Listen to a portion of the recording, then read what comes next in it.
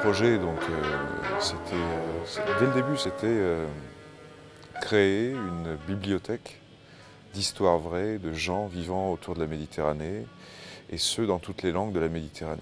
Et avant ça, donc, je suis allé collecter les histoires vraies. Je suis parti en décembre 2011. J'étais en Espagne un mois, ensuite un mois au Maroc, ensuite un mois en Algérie, un mois en Tunisie, un mois en Égypte. J'ai pas pu aller en Libye, j'ai pas pu aller en Syrie.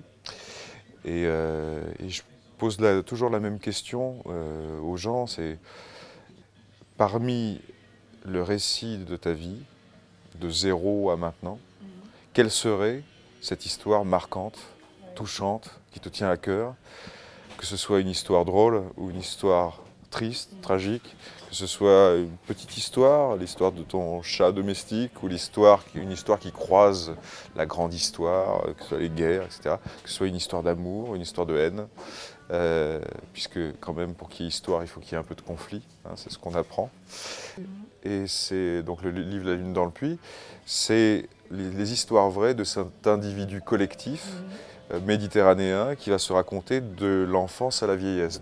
D'autres auteurs peuvent très bien donner leur éclairage sur la même base de données, sur cette même matière première qui est libre de droit, qui est à tout le monde et à personne.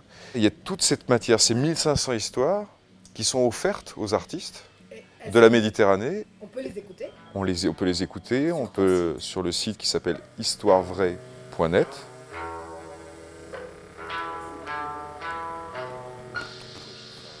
Il nous faut des histoires surprenantes, il nous faut des histoires intéressantes qui pourraient faire des films. Je dis, par- euh, Paul Auster, quand il a fait le projet aux États-Unis, disait une histoire vraie, c'est une histoire courte, avec un début et une fin, c'est-à-dire avec une dramaturgie, et qui paradoxalement ressemble plus à de la fiction qu'à la réalité. Moi, ce que je souhaite, c'est qu'on arrive à penser et à, refonder euh, cette Méditerranée, mais en, en repartant de l'essentiel, c'est-à-dire de l'individu, et en, en se plaçant en deçà des frontières. Une histoire vraie de la Méditerranée, ça peut très bien être une histoire d'un Congolais qui vit à Barcelone et qui nous raconte une histoire qui se passe au Vietnam. C'est pas un problème. C'est écouter ces gens qui vivent autour de cette mer. 嗯啊。